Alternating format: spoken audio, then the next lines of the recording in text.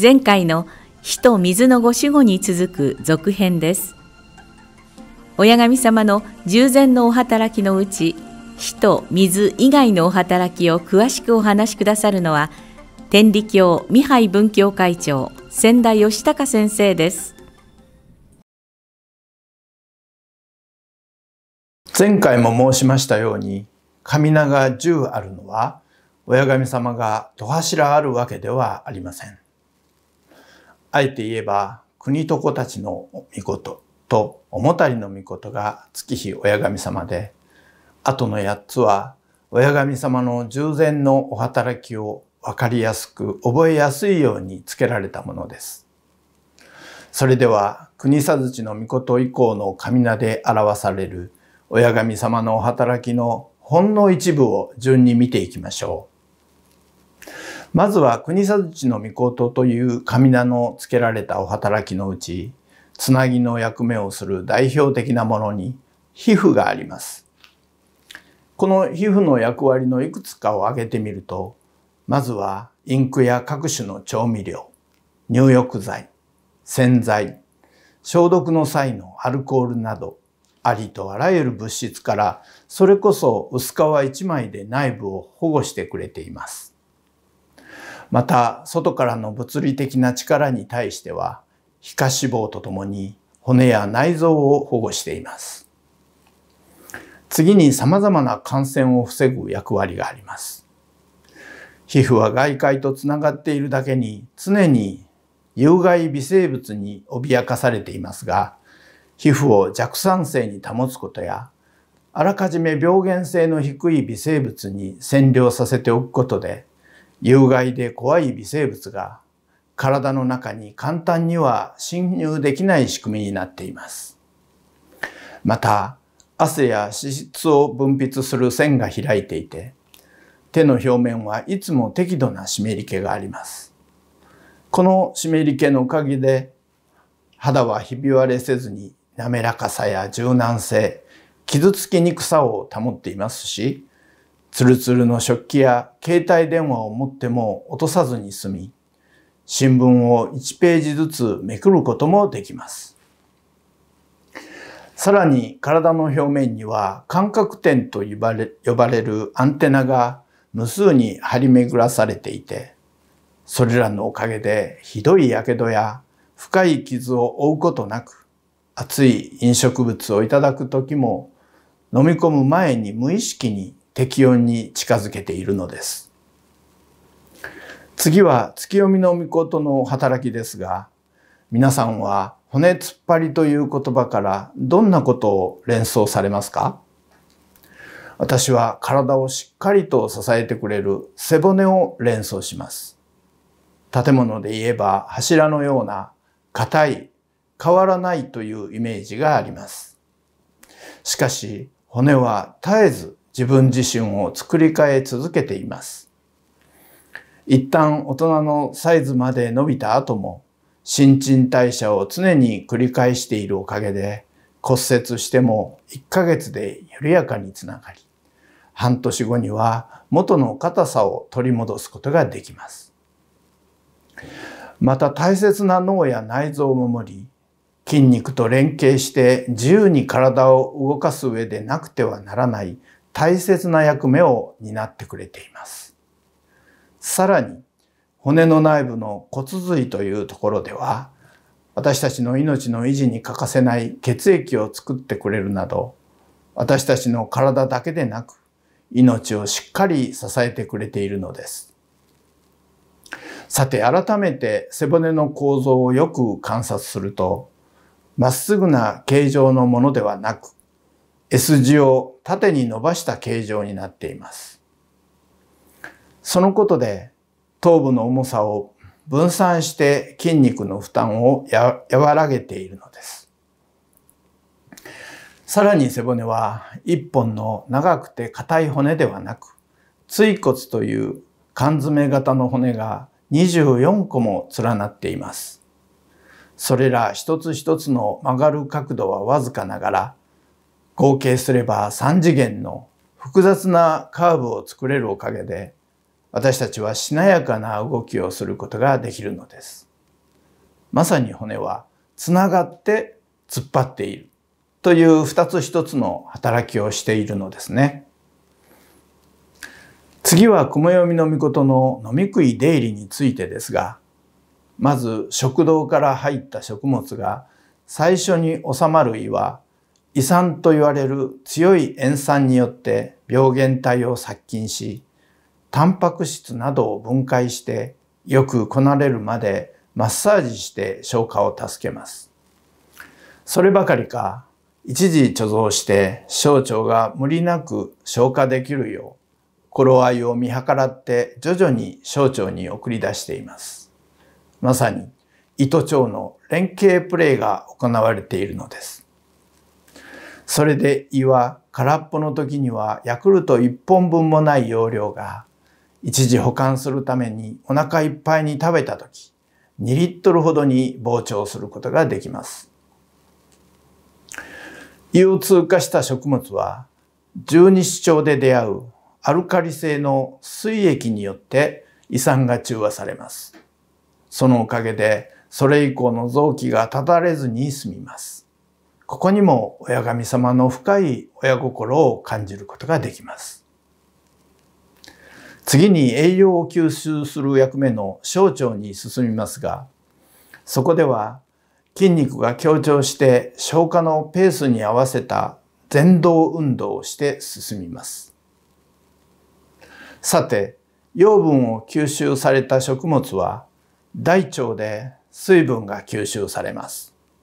そのおかげで便がバナナ状に圧縮され、排泄も1日1回程度、お尻周りも汚れにくくて済むというわけです。ちなみに吸収された水分は無駄なく再利用されます。次は、賢根の御事の息吹き分けです。息は呼吸のことで、それこそ人体の精神に関わる非常に重要な働きです。また、吹き分けとは、自由意志で言葉を話すことです。加えて、歌を歌う、大声で笑うなども、息を吹き分けることで得られる陽気暮らしに欠かせないツールと言えます。私たちは生まれてこの方何不自由なく息をしていますが、寝ている間や失神した時でも息が止まらないのはなぜでしょうか？それは中枢神経には体内の無意識の働きを司る部分があり、呼吸についても血液の循環や体温調節、消化、分泌、代謝などと互いに連携を取りながら命そのものを絶妙なレベルで維持しています。その働きのありがたみは到底言い尽くすことができません。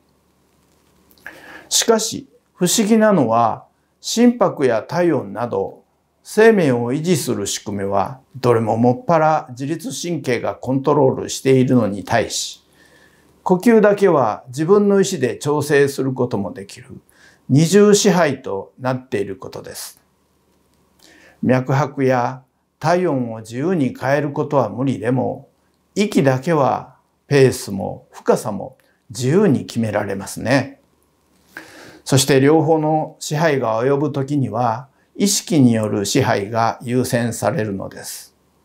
なぜでしょう？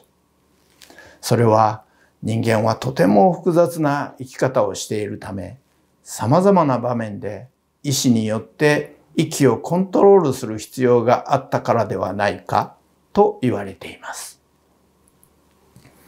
次は退職天の御事の切るご死後です。出産の時、お母さんと赤ちゃんが結ばれているへその緒が切られて、赤ちゃんは独立した個人としてこの世に誕生します。その意味で、切るという言葉は生命誕生の瞬間を象徴するにふさわしい言葉と言えます。子宮に張り張り付いている胎盤は赤ちゃんが生まれた後で剥がれますので本来ならば大出血が避けられないところですが胎盤自体に血液を凝固させる物質が含まれているため剥がれる際にきちんと止血して後をきれいにしていくのです。一方、お母さんの子宮の方は、正常なら出産前でも厚さ 8mm 以上あるので、そうやすやすとは破れないのと、出産直後からぐんぐん縮むことで無駄な出血を止めるのです。このように出産の時、お母さんと赤ちゃんをつないでいるへその緒が切られ、胎盤が剥がれて血を止める後じまいまで、切る、引き出す、つなぐという一連の働きが見事に連携して行われているのです。ところで、生物を構成する細胞が自分の役目を終えたり、不要になったりすると、自ら消えていく現象をアポトーシスと言います。これは個体をより良い状態に保つために、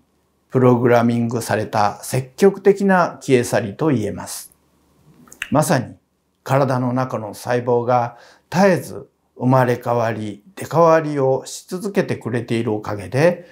私たちは今日も元気で生きていられるのです。次に大殿部の御事の引き出しの働きですが、胎児は誕生を境に独立した個人として成長していかねばなりません。その時、なくてならないものの一つが食事ですが、母親からの母乳はまさに完全無欠の食品となっています。まず母乳は栄養のバランスが良く、様々な意味で赤ちゃんにとって理想的な蘇生となっていて、神経の発達を促進する効果も大きい上に、胃酸が作用しても固まらないので、消化吸収が容易になり、下痢の時ですらも飲み続けることができます。また未熟児では消化管が人工乳を受け付けない場合が多いのですが、母乳なら安心して飲むことができ、なんと低体重児を産んだ時の母乳には低体重時に必要な栄養素が多く含まれているのだそうです。また母乳は栄養の面だけでなく腸にとって必須の細菌であるビフィズス菌を増殖させる作用もあってこれによって悪い微生物が腸内に入り込む隙を与えないようになっています。まさに必要なものが必要な時に必要なだけちゃんとそこに用意されているのですね。イザナギの御事、イザナミの御事は男女の雛形ということですが、そもそもなぜ性別があるのでしょうか？生き物の使命は自身が生き延びることと子孫を残すことです。